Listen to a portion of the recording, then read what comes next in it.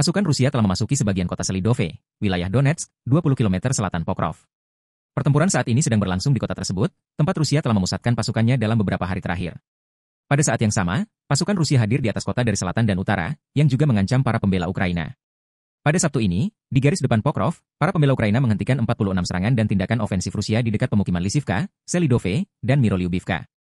Ukrainska Pravda mengungkapkan, di garis depan Kurahove, pasukan pertahanan Ukraina menangkis 41 serangan Rusia di dekat pemukiman Hostre, Katerinivka, dan Novotmitrivka. Wakil Direktur Pusat Penelitian Angkatan Darat, Konversi, dan Perlucutan Senjata Ukraina Mihailo Samus mengungkapkan bahwa Rusia melakukan serangan ke arah Pokrovski difokuskan tepat ke arah pemukiman Selidovo dan Promin.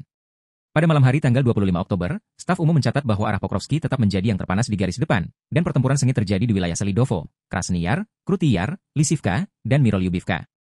Di bagian garis depan inilah tentara Rusia melakukan 35 upaya untuk menyerbu posisi Ukraina. Sejalan dengan ini, komentar dari petugas pers Brigade Pasukan Khusus ke-15 Garda Nasional Ukraina Karadak, Letnan Kolonel Vitaly Miloviv, selama penyerangan di Selidovo, para penjajah bekerja dalam kelompok-kelompok kecil dalam jumlah besar tanpa menggunakan kendaraan lapis baja. Sejumlah besar dari mereka datang dari berbagai arah. Mereka berhasil menyusup ke pemukiman, mencoba mendapatkan pijakan di gedung bertingkat. Jika itu adalah dua atau tiga prajurit Federasi Rusia yang mencapai gedung, mereka menduduki rumah dan menunggu hingga lebih banyak dari mereka berkumpul untuk melawan unit infanteri kita dengan keunggulan jumlah, kata petugas pers Brigade ke-15 NSU dalam komentar Radio Svoboda. Sementara itu, Rusia menyerang kota dengan bom udara berpemandu, uap, artileri, dan pesawat tanpa awak. Pada saat yang sama, kota tersebut tidak runtuh seperti pemukiman lain di wilayah Donetsk.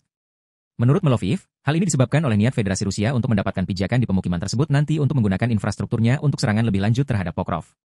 Dalam komentarnya di ICTV Fax, pakar militer Mihailo Samus dikutip dari Fakti Ukraina mengatakan bahwa Selidove kemungkinan akan mengalami nasib yang sama dengan permukiman lain yang diduduki Rusia, yaitu akan dihancurkan. Menurutnya, masih ada gedung-gedung tinggi di kota tersebut, tetapi hal ini dapat dijelaskan oleh fakta bahwa Rusia baru saja memulai pergerakan mereka di Selidovo.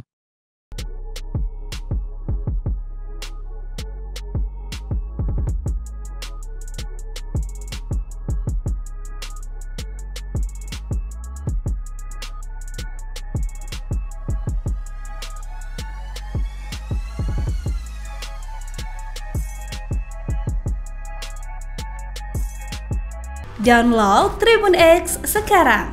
Menghadirkan lokal menjadi Indonesia.